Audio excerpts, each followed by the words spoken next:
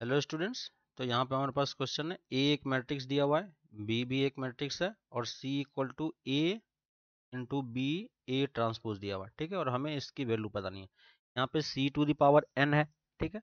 इससे पहले हम लोग ए इंटू ए ट्रांसपोज करके देखते हैं क्या आता है, ठीक है? तो ये cos theta sine theta sine theta minus cos theta ठीक है? इसी को इसी मैट्रिक्स से मल्टीप्लाई करेंगे इसके ट्रांसपोज से। Cos theta sine theta sine theta minus cos theta ठीक है? मल्टीप्लाई करते हैं तो कितना आ जाएगा? Cos square theta plus sine square theta यहाँ पे क्या आ जाएगा? Cos theta sine theta minus sine theta cos theta ठीक है? यहाँ पे sine theta cos theta minus cos theta sine theta ठीक है, और इसको मल्टीप्लाई करेंगे। Sine square theta plus cos square theta ठीक है? इसको सिंप्लीफाई करोगे तो ये क्या आ जाएगा? आइडेंटिटी इसका मतलब ए इंटू ए ट्रांसपोज क्या आ गया आइडेंटिटी आ गया। सिंपली अगर हम सिमिलरली अगर हम ए ट्रांसपोज को ए से मल्टीप्लाई करेंगे तो भी हमारे पास आइडेंटिटी आएगी, ठीक है? इसी क्वांटिटी को हम लोग यहाँ पे यूज़ करेंगे। हमें C to the power N calculate करना है, ठीक है? तो पहले हम सी हमें दिया हुआ है ए बी ए ट्रांसपोज, ठीक है? अगर हम सी स्क्वायर कैलकुलेट करते हैं तो क्या आएगा? A B A transpose into A B A transpose, ठीक है? ए ट्रांसपोज इंटू ए क्या दे देगा? आइडेंटिटी तो ये क्या बन जाएगा? A into B square A transpose, ठीक है? सी क्यूब अगर हम कैलकुलेट करते हैं तो सी क्यूब कितना आएगा? A B square A transpose C square into C A B into A transpose ठीक है? फिर से यहाँ पे अगर आप देखोगे, फिर से यहाँ पे देखोगे तो ये दोनों मिलकर फिर से क्या दे देगा? आइडेंटिटी दे देगा, ठीक है? तो यहाँ से फिर से कैलकुलेशन पे ये क्या आ जाएगा? A B cube A transpose इसका मतलब पैटर्न हमें दिख रहा है तो C to the power N की वैल्यू कितनी हो जाएगी? A B to the power N into A transpose ठीक है? तो इस वैल्यू को हम लोग इस वाले पार्ट में यूज़ करेंगे। हमें क्या निकालना है?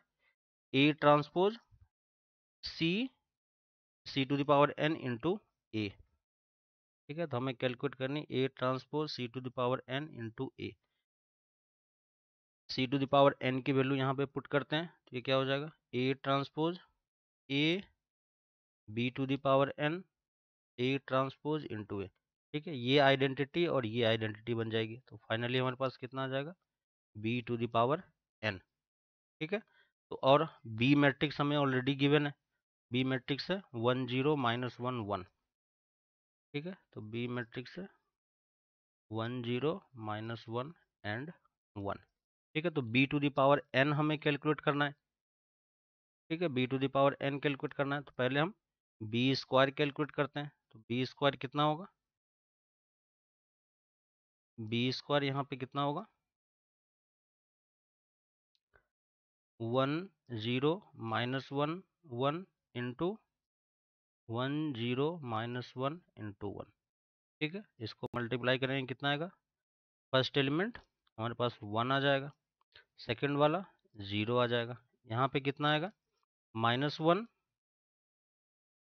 minus one into minus one, minus two, और ये वाला पार्ट फिर से वन दे देगा।